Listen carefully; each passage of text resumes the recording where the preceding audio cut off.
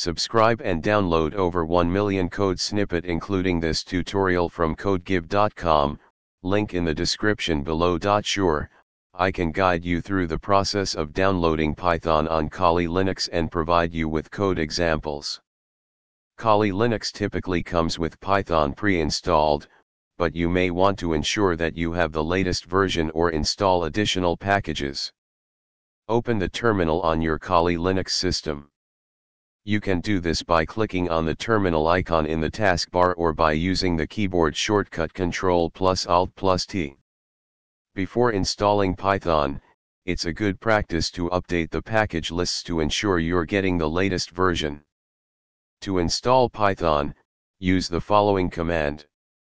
This will install the latest version of Python 3 along with pip, the package installer for Python. After the installation is complete, you can verify that Python is installed by checking its version. You should see output similar to. If you need specific Python packages, you can install them using pip. For example, if you want to install the requests library, use the following command. Replace requests with the name of any other Python package you want to install. It's a good practice to use virtual environments to manage Python dependencies for different projects.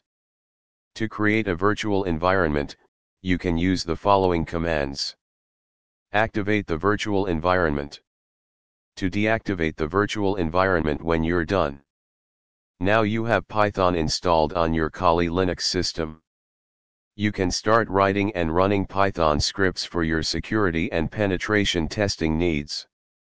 ChatGPT